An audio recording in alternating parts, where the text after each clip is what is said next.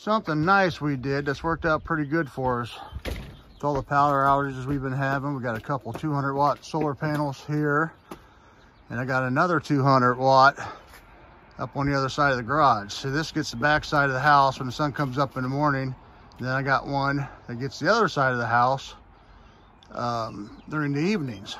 I have two solar controllers up there that take care of that. Show you a quick pic of that. Okay, these are the solar controllers I picked up. I think it, what is that company? It's HQST. Not very well known. They're 40 amp solar controllers.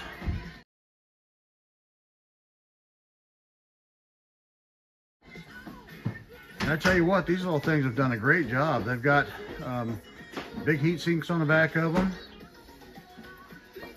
They keep my batteries charged. I got six golf cart batteries down there. I have lithium ones down in my camper, but I just wanted to set up an inexpensive system. When I bought these, these were right around 85 a piece. I'm not sure what they are now, but they sure are good. And they have uh, software that goes with them too. It's attached to your phone, an app. I'll show you how that works here in a little bit. I'll show you the other side. I have these two apps that works with those charge controllers. You use one or the other. I kind of prefer this one. And what it does, it uses Bluetooth to connect to them. I got to go up here and tell it which charge controller to use. Well, it's showing a bunch of stuff right now. We just connect to the solar charge controller. There we go. Right now they're float charging. Shows the voltage they're at.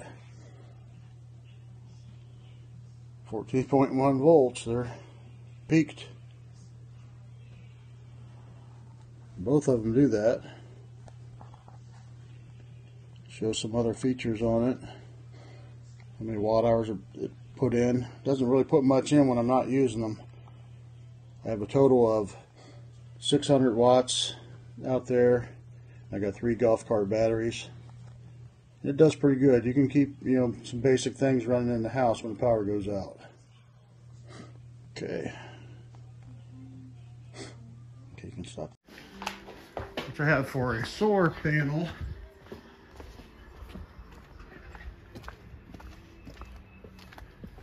This is my back of the house solar panel. Right now we're getting the sun, but you see this, how this brokenness is?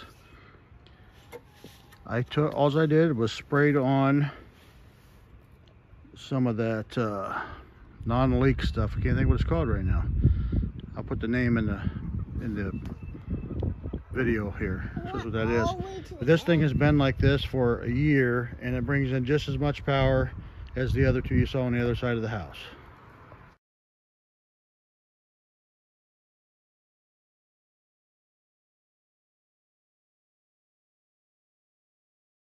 Woohoo! We sure appreciate you guys coming and checking out our videos.